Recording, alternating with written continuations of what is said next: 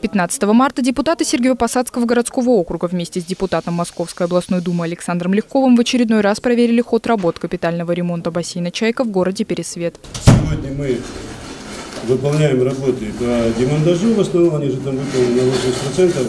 Остались те работы, которые мы оставили, э, но чуть-чуть более на теплое время, это там демонтаж икон, демонтаж отопления, потому что здание надо пититься, как только тут на улице потеплеть, мы к этим работам вернемся, все самое, все демонтируем, будем сразу э, выставлять. Подрядчик оценивает готовность выполнения демонтажных работ на 85%. В ходе их проведения появилась необходимость экспертизы. Так ряд конструкций не было видно при определении первоначального проекта. Заключение в основном положительное, но даны определенные рекомендации по усилению несущей конструкции, что тоже будет учтено в проекте. Объект очень важен для города. Это когда-то это был самый первый бассейн в нашем округе.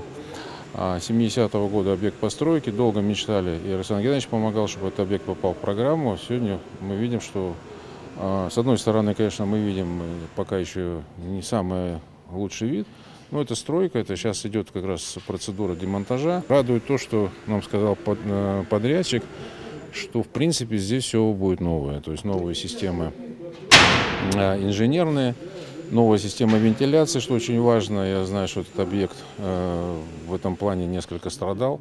Поэтому в такого рода бассейнах должна быть хорошая система вентиляции, кондиционирования, терморегулирования.